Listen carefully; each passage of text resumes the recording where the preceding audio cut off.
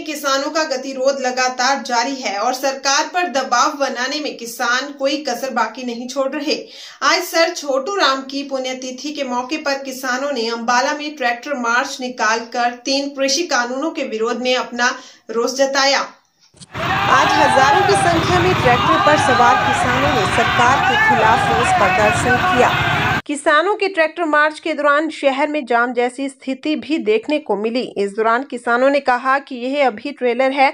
असल तस्वीर 26 जनवरी को देखने को मिलेगी। ट्रैक्टर रैली के दौरान किसानों में भारी रोष दिखा और किसानों ने अपने ट्रैक्टर के आगे प्रधानमंत्री मोदी और हरियाणा के मुख्यमंत्री मनोहर लाल खट्टर का पुतला लगाकर उनके मुँह पर जूते चप्पल बरसाए। ट्रैक्टर रैली में आए किसानों ने दावा किया कि आज लगभग पच्चीस हज़ार ट्रैक्टर रैली में आए हैं।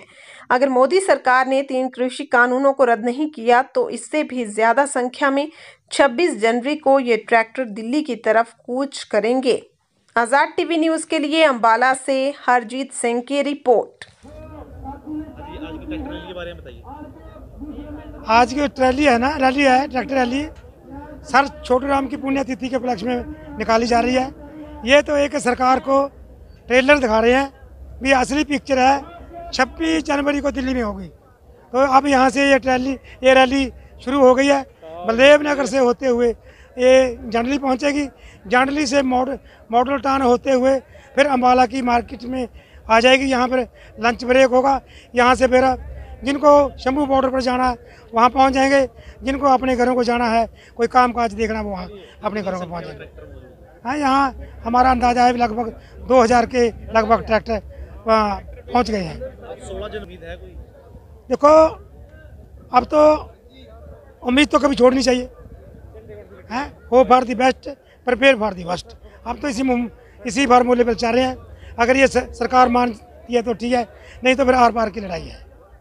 तो लोग तो सिर पर कफन बाँध कर चले गए हैं। भाई या जीत कर आएँगे या फिर मर कर आएँगे वरना खाली हाथ नहीं आएँगे। छब्बीस जनवरी की परेड। बिल्कुल जाएँगे बिल्कुल जाएँगे। मतलब कि छब्बीस जनवरी की परेड में वहाँ इतने ट्रैक्टर हो जाएँगे कि दुनिया के इतिहास में एक ये नील का पत्थर बनकर रह जाएँगे। और हमारा ट्रैक्टर रैली निकालने का ही मकसद है कि सरकार किसी तरह तो जाके बार बार तरीक बे तरीक तरीक बे तरीक हमारे बोले बाले जो नेता यहाँ बैठे हैं वो जाते हैं उनको विश्वासन दबा के भेज देते हैं। हमारा यही है सरकार को के ऊपर दबाव डालना है हमारा कि मान जाए सबर का अंत ना देखे वरना हम तो अपना कफड़ सिर पे बाँध के आए हैं। अगर छब्बीस तरीक से पहले पहले सरकार मानती है तो ठीक है नहीं हम तो अपने सिर पर कपड़े बाँध के दिल्ली को रवाना होंगे वहाँ आर पार की लड़ाई लड़ेंगे। हम हर जिम्मेदार आज जोश के अंदर है नहीं, अगर नहीं भी अब ये हमारी बात मानता तो हम 26 तारीख को हर किसान हर किसान का बेटा, हर मजदूर, हर वर्ग दिल्ली के अंदर कूच करेगा। हम और चाहे मोदी सरकार हमें तोप चलाए, हमारे ऊपर गोलियाँ चलाए, हम कभी भी घर नहीं बैठेंगे। आज अम्बाला हल्का के लगभग 20-25 हज़ार ट्रैक्टर यहाँ पर आए हैं और अब ये यही ट्रैक्टर सभी अगर 25 तक कोई हमारे 25 तारीख से पहले अगर कोई फैसला नहीं लेती मोदी सरकार ये सारे ट्रैक्टर दिल्ली की तरफ़ पूछ करेंगे। हाँ, इनका ये हमारे को लेट नाइट में सूचना मिली थी भी ट्रैक्टर रैली निकाल लेंगे। अनाज मंडी अम्बाड़ा शहर से शुरू होके पॉलिटेक्निकल चौक इनको आग से घूमते हुए ये जनरली पुल से वापस मंडी में आएँगे। आज इनका ये है प्रोग्राम अनाज मंडी से अग्रसैन चौक पॉलिटेक्निकल चौक कालका चौक कालका चौक से जग्गी सिटी सेंटर और जग्गी सिटी सेंटर है जनरली पुल से होते वापिस आएँगे।